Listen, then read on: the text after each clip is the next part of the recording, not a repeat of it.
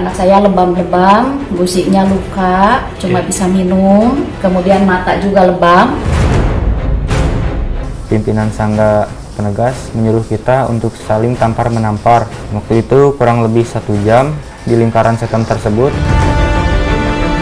anak-anak itu disuruh baku hantam tampilingan deh ke kelas 11 kelas 12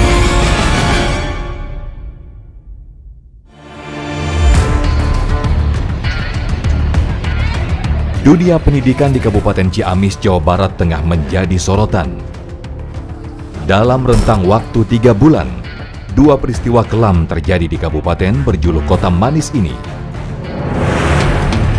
Kejadian pertama terjadi pada pertengahan Oktober 2021.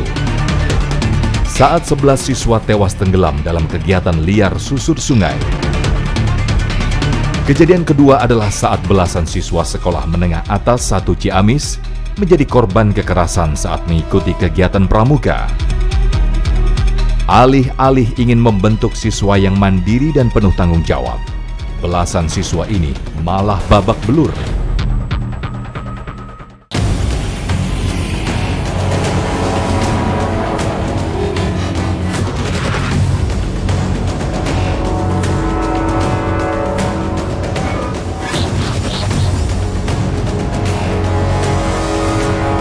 Rumah Sakit Umum Pandega, Pangandaran, Ciamis, Jawa Barat, kedatangan seorang pelajar yang mengalami luka serius pada bagian kepala.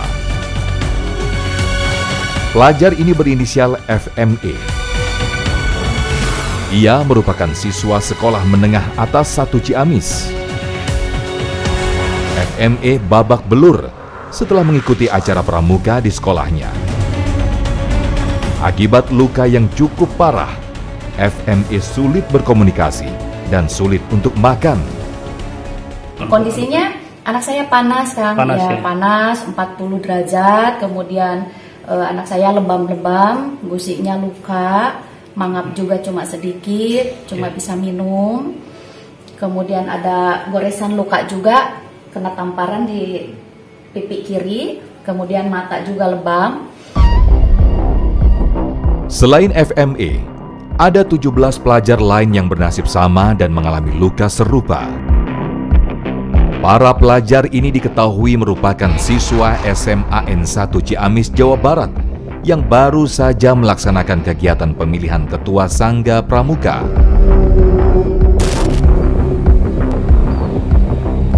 Polres Ciamis, Jawa Barat yang mendapat laporan soal penganiayaan langsung menyelidiki kasus ini.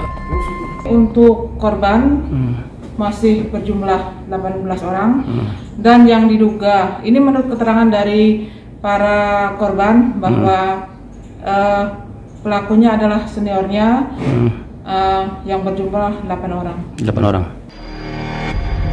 Selain korban Ani Susani yang membawa FME ke rumah sakit, laporan ke polisi juga dibuat oleh Mamai, orang tua dari siswa MT. MT juga bernasib sama seperti FME, mengalami sejumlah luka pada sekujur tubuhnya. anak-anak itu disuruh baku hantam. Kalau kemarin kan eh, kegiatan lingkaran setan pak tampiling tampiling sahan masih kuat kene ke kelas 10 tampilingan deh ke kelas 11 ke kelas 12 nah kakak-kakak pembinana itu yang saya tahu berdasarkan keterangan dari anak-anak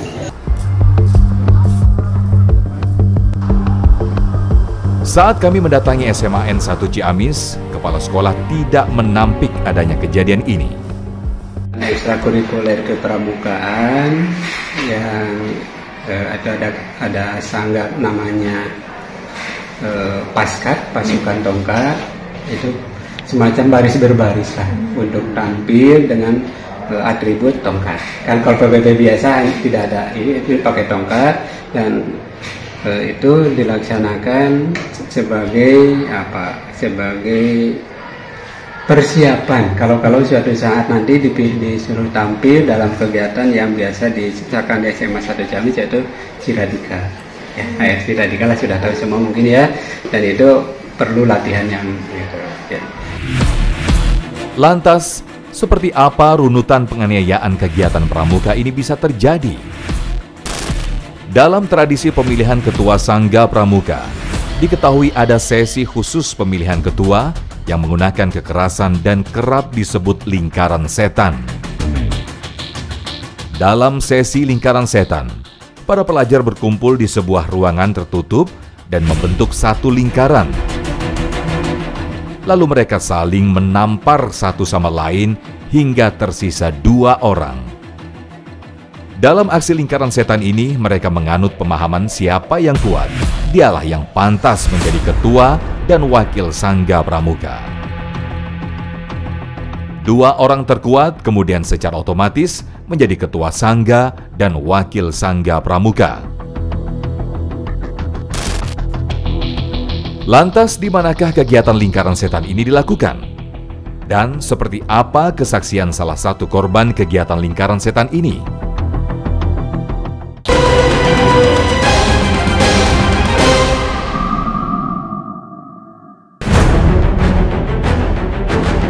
Eh, anak saya lebam-lebam, gusiknya luka, cuma bisa minum, kemudian mata juga lebam. Pimpinan Sangga Penegas menyuruh kita untuk saling tampar menampar. Waktu itu kurang lebih satu jam di lingkaran setan tersebut. anak-anak itu disuruh baku hantam tampilingan deh ke kelas 11 kelas 12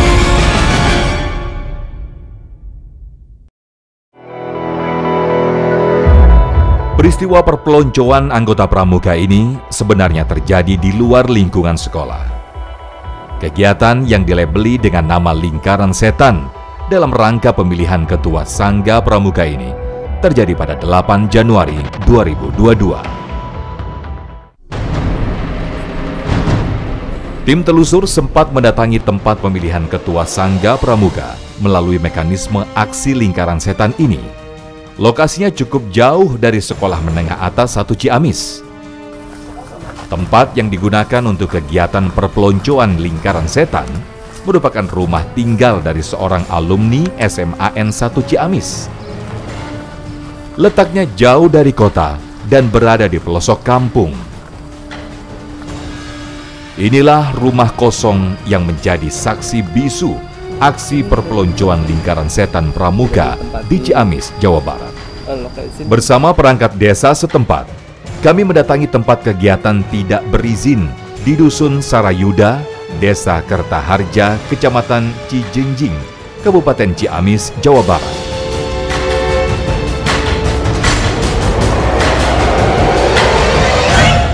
Di rumah ini adalah lokasi tempat kegiatan lingkaran setan kemarin terjadi beberapa waktu lalu. Di rumah ini eh, lokasinya cukup jauh dari tetangga-tetangganya dan saat terjadi eh, lingkaran setan, praktek lingkaran setan, para pelaku eh, menyalakan musik sebesar-besarnya sehingga apa yang terjadi di dalam pemukulan, kemudian teriakan-teriakan di dalam tidak terdengar sampai ke tempat warga. Imas, saksi mata di lokasi kejadian bercerita kepada kami tentang apa yang ia saksikan. Jadi waktu itu motor ada berapa total yang datang waktu itu? Seberapa banyak orangnya tuh? Ada puluhan atau berapa? kurang lebih nggak sampai nyak 100 nggak Nggak sampai 100, tapi banyak. banyak Tuj- 50 orang Ada, sekitar ada sekitar. 50. Oh, sekitar 50 orang. ada Hmm. Jadi kemudian masuk aja ke lewat sini atau lewat depan waktu itu? lewat itu eh, depan Lewat depan warung. Iya. Oh, kemudian dari situ sampai kapan? Masuk jam berapa? Keluar jam berapa? Eh, ya teman-teman. kira-kira setengah tujuhan itu mulai berdatangan gitu ya Setengah tujuh pagi. setengah tujuh pagi-pagi ya Setengah tujuh pagi berdatangan. Kemudian pulang. pulang Sepinya itu jam berapa? eh, sebelum maghrib Sebelum maghrib sudah selesai. Dan kami pun masuk ke lokasi tempat aktivitas lingkaran setan dilakukan. Berdasarkan informasi dari pemilik rumah, di ruangan inilah lokasi eh, tempat eh, lingkaran setan terjadi.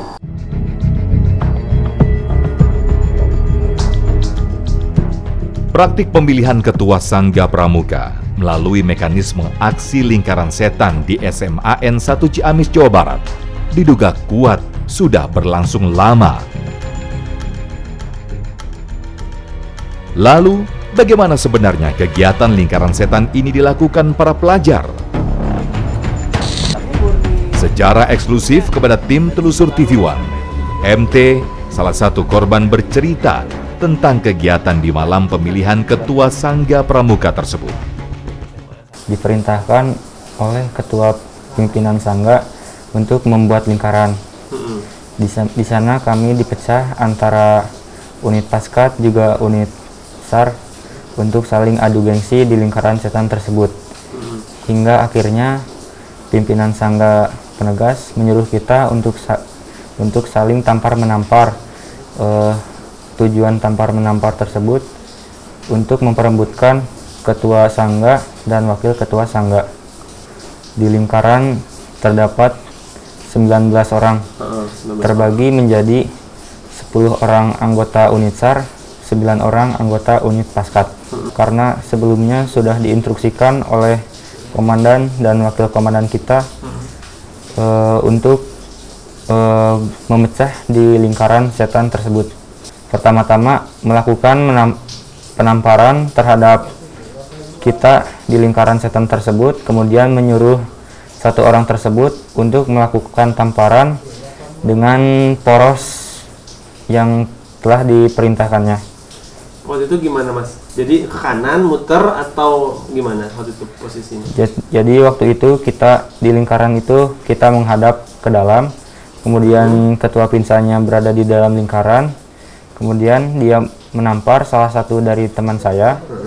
Kemudian memerintahkan teman saya untuk menampar teman saya yang lainnya sesuai sesuai arahnya sesuai yang diperintahkannya. Jadi uh, ke kanan, semisal ke kanan, uh. maka kita menampar ke arah kanan sampai dia memberhentikannya. Kemudian uh, menyuruh kita untuk menampar ke arah kiri dan menamparnya kurang keras maka kita akan diberi contoh oleh kelas 11 kelas 11 itu menampar kita sekuat-kuatnya dari mulai awal tapi saat, e, waktu satu jam itu gak terus melulu melakukan tampar menampar tapi dikasih waktu satu menit untuk istirahat karena pada saat itu posisi saya posisi bibir saya sudah keluar darah bocor sampai tiga kali e, muncrat darah.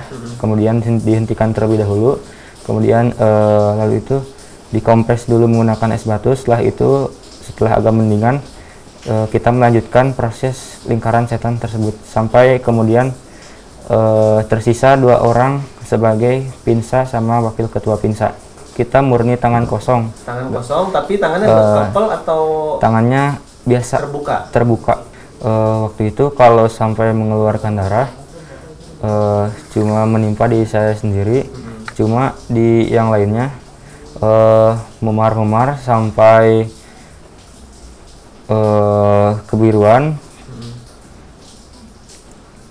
uh, keluar darah juga karena uh, bekas ada bekas uh, cakaran oleh kuku di pipi uh, waktu lingkaran setan dikhususkan di area muka itu kalau misalnya ditampar terus dia nggak kuat bisa langsung mundur gitu ya? Iya. Itu bagian dari acara pramuka atau bukan mas? Kalau dibilang acara pramuka, eh, bisa dibilang acara pramuka karena di sana eh, acaranya tujuan acara tersebut adalah untuk memperebutkan sangga yang kita inginkan dan pimpinan dan wakil pimpinan sangga yang kita inginkan.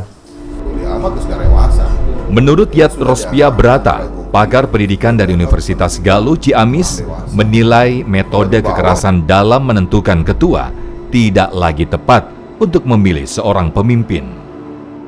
Itu semacam kembali ke tradisi ya orang-orang luar sebetulnya dulu ya ketika mengambil uh, pemimpin ya primus inter pares yang menang yang apa yang kuat yang menang ya hmm. Siapa yang kuat dialah yang menang hmm. nampaknya itu diadop oleh mereka hmm. nah, kuat secara fisikal padahal kan sekarang zamannya zaman uji kom ya uji kompetensi hmm. nah harusnya uji komnya uh, yang tangkas lah, yang cerdas lah, gitu. Dari bukan dari sisi fisik. Kalau sisi fisik ya silakan dengan bela diri.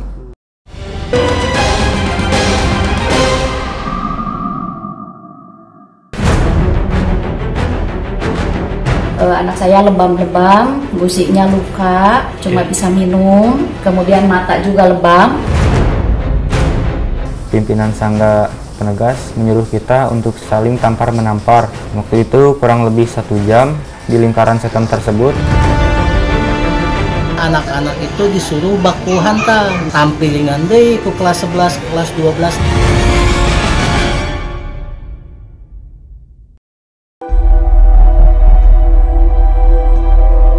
Dunia pendidikan di Kabupaten Ciamis, Jawa Barat tengah menjadi sorotan. Dalam rentang waktu tiga bulan, dua peristiwa kelam terjadi di kabupaten berjuluk Kota Manis ini. Peristiwa aksi kekerasan lewat kegiatan lingkaran setan di Ciamis, Jawa Barat adalah bukti bahwa kekerasan masih digunakan dalam dunia pendidikan, terutama untuk kegiatan ekstrakurikuler seperti pramuka yang kerap dimanfaatkan senior untuk melanggengkan kekerasan.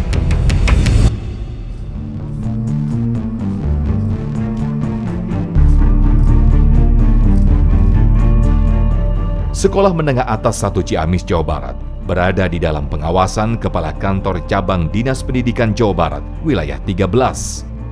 Kami mencoba untuk menemui Heri Pansila, Kepala Kantor Cabang Dinas Pendidikan Jabar, wilayah 13. Kami yakin jika Heri Pansila berada di kantornya. Namun rupanya ia kabur-kaburan dan enggan untuk memberikan keterangan terkait kasus ini. Baru saja kami eh, mencoba mengkonfirmasi kepada kantor cabang Dinas Pendidikan Provinsi Jawa Barat untuk eh, melihat apa langkah ke depan dari Dinas Pendidikan namun kami tidak berhasil menemui salah satu sat- salah seorang pun yang bisa dikonfirmasi terkait dengan kejadian beberapa waktu lalu di Ciamis, Jawa Barat. Kalau masih perlu regulasi, pakai regulasi yang lebih keras lagi. Tapi yang paling penting ya, mohon maaf ya, eh, apa namanya para seniornya, para pembimbingnya, para gurunya atau apalah yang ah, ada di lingkungan mereka, orang tua dan sebagainya itu harus lebih mengawasi mereka ya dan berikan edukasi, berikan pemahaman bahwa itu anfaedah, itu tidak ada manfaat sama sekali hal seperti itu.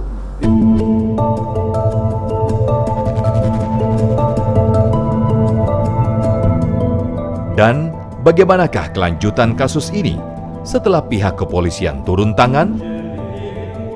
Ini shock terapinya sudah kena. Mereka eh, sudah dapat pelajaran baik dari tayangan-tayangan media terus shock terapi dari pihak Polres sendiri terus trauma healing dari unit TP2A kami ini para pelapor ya dan para orang tua pelaku kemarin sepakat ya islah jadi tidak akan memperpanjang persoalan ini. Esko itu tetap berjalan tapi ini kalau toh ada katakanlah untuk pembentukan karakter itu tolong ke ahlinya. Kan bisa melibatkan dari aparat eh, kodim atau aparat polres itu sendiri. Terutama kan anak saya masuk di, di pasukan baris berbaris